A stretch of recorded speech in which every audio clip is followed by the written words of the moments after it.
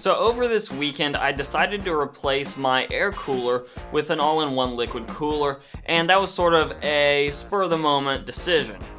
You see, I was at Fry's Electronics just walking down the cooling aisle, and they had H100i V2s refurbished for less than $80.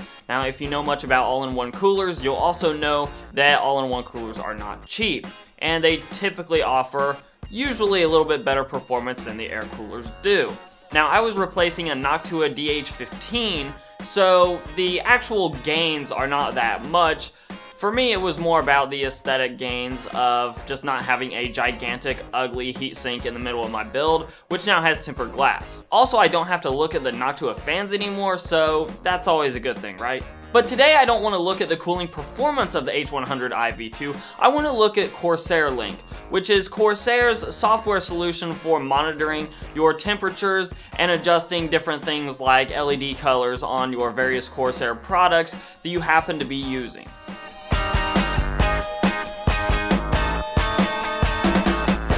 Before I hop into the software side of this, I do want to point out exactly how the water block communicates with the operating system to change that LED color. So the way that's done is through this USB cable, which plugs into the top of the water block, and then this cable, which I have not cable managed because it's probably not going to stay hooked in, but it connects down and terminates into a USB 2 header that is sort of plugged in straight back there.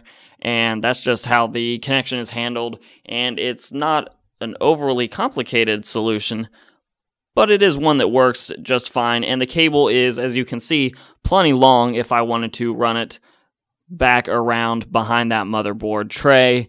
Um, if I was actually going to leave it connected full time, which I might do once I actually build out my Ryzen build. But for now, I'm going to just unplug it and take it back out.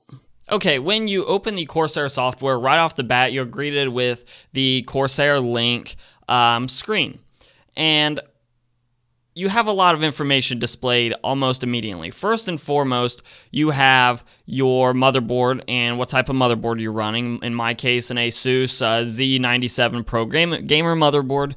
Um, it tells me I'm running the Intel Core i7-4790K. It tells me my SSDs that I'm running. It tells me my hard drive that I'm running. It tells me the water cooler that I have as well as the graphics card that I have. Now, all this information is important because if you are monitoring hardware, then you want to be able to know exactly what all your temperatures are in one convenient location and you want everything there. You don't want a piece of software that gives you some information and not a lot of other information. So that's why to me it's a it's a big deal that they went ahead and included things that are not necessarily Corsair related. They included just system information in general on the opening screen. I do really like that.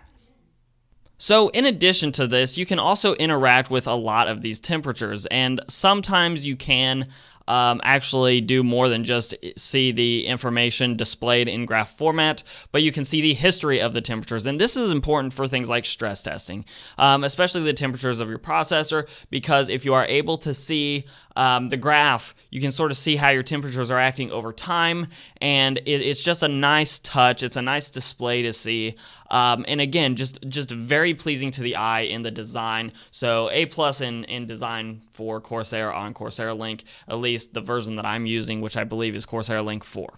Now, under the configure tab is another sort of cool touch of Corsair Link in that it has this picture of a chassis. Now, you can adjust this picture however you want with whatever case you may have by simply right clicking on it and clicking choose case image. Now, Corsair conveniently includes all of its cases, or at least a lot of its cases, um, in the pre-given pictures. So you can pick whatever case you have if you have a Corsair case, but they also give you the option of browsing files, but you can change the interior of the case, or at least the view of the interior, by simply right-clicking on it. And, and I have downloaded a S340 interior picture that I'm going to go ahead and set as the backdrop and it changes the case so that I have a view of my case and the interior of it.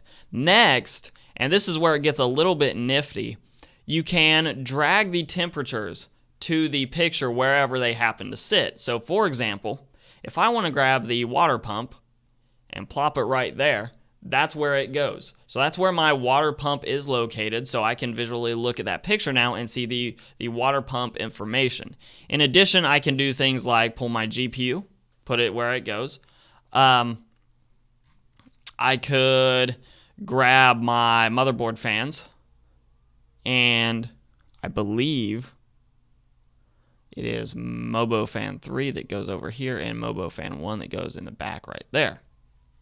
Okay, so you have a lot of ability to just sort of plot out the points and, and you can take as much time or as little time as you want on this. For example, you could drag all the core temperatures around the pump so you can just easily look at this picture and get all that information in one convenient location. But it's not something you have to do. You can just use it over here. But it is nice that they added this touch because you can set up your case and give yourself a better visual representation of where the heat is located in your case, which then can help you come up with a better plan to actually manage the heat. The profiles button does exactly what you would expect it to. You can put it into balance, performance, quiet modes. You can also manage your own profiles and create new ones. So for example, I could create one called gaming. And by setting it in gaming and then I can change any of the options and it will affect just that profile. So that makes sense. And the last real tab of use, at least to me, is the graphing tab. And that just pulls up a completely separate tab um, or graph rather, that shows you graphs of a bunch of your important system information, anywhere from your motherboard temperatures, your fan RPMs, your your uh, CPU cores, those temperatures, and it gives you visual graphs for all those. A lot in a way, sort of like uh, MSI Afterburner does for overclocking your graphics card. It's sort of the same idea there with Corsair Link in this case. And of course, back on your home screen, if you do have a Corsair uh, product that you happen to be using, you can change things like the LED colors. This is where you would do that. For example, I can change the water block logo color of Corsair on the water block simply by clicking the LED. And then I can do something like change it to, say, a blue color. Um, maybe.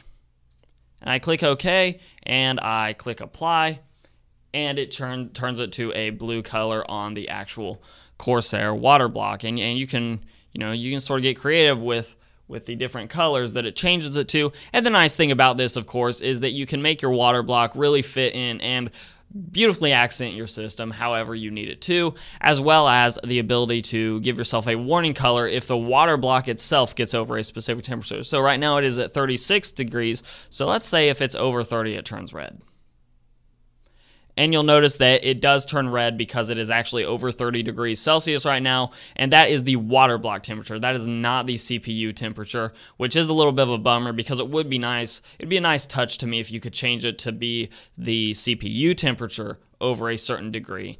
But it's it's still a nice touch. I just would have liked to have seen them uh, take that step further, and maybe they will in future revisions of Corsair Link. And as always, guys, if you like this content, give me a like, subscribe, share, comment. All those things are super helpful down below. You can also follow me on Twitter and on Instagram at Hoosier Hardware.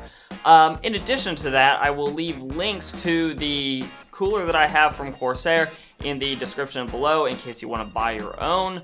I'll let YouTube queue up this card for your next video. And I'm Shane from Hoosier Hardware, and I will see you guys in the next video.